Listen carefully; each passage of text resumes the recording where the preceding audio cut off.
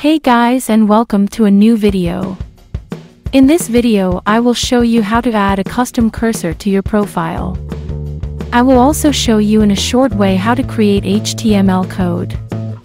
I made a tutorial about this before, but the website I made this with no longer works, so I thought it would be useful to show you guys this way as well.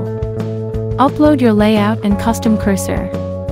Then copy the address from them. Then open something like a notepad to create the code. I will post in my Goblog the base code for you guys to use. This code consists of three codes that make up one. The first code is for the custom cursor. The second code is for your layout and the third code is for the text box. If you have a layout with two text boxes then copy the third code and paste it at the bottom, as I am showing now. And with a third text box you do the same thing again.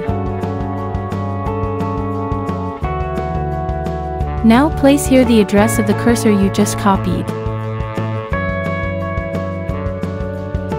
Then copy the address image of your layout and place this link with on the second code.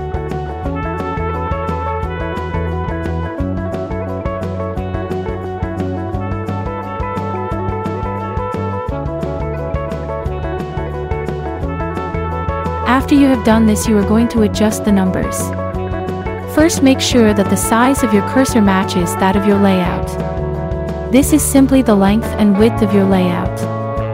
The next thing is to make sure that the sizes of the text box are correct. You do this by entering different numbers several times until the text is at the right height.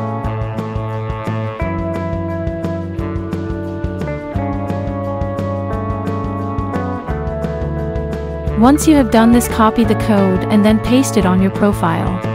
I always check if the dimensions are correct. I do this by holding down the spacebar and I check the distance between the text and the text box. I also do this with the height. This was another video, if you have any questions let me know in the comments. I hope to see you next time.